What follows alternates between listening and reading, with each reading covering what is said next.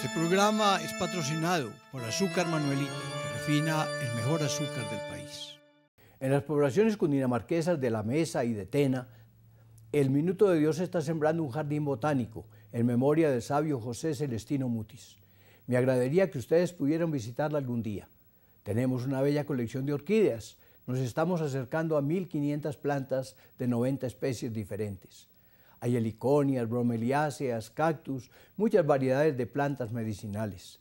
También un sembradío de caña de panela y trapiches que recuerdan las tradiciones de nuestro pueblo. Y una ciudadela del café, en donde se puede conocer desde la siembra de la semilla hasta el tinto que nos tomamos. Ya les seguiré contando cómo pueden organizar Atena una visita turística. Dios mío, en tus manos colocamos este día que ya pasó y la noche que llega.